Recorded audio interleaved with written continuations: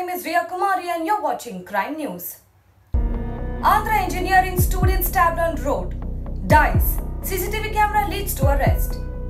A third year engineering understudy was wounded to death to Andhra Pradesh Guntur city on Sunday. The episode got on CCTV has promoted a colossal ruckus. Andhra Pradesh Home Minister M. Sucharita raced to the Government General Hospital where the body was taken and communicated shock over the occurrence. Later in the evening, State Director General of Police DG Sawang said the denounce of the situation have been captured.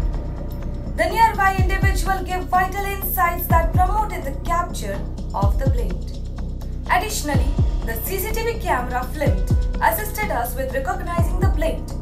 He said in an explanation. CM YS Jagan Mohan Reddy declared rupees 10 lakh for the family. That's all for the day today. Have a good day. Thank you.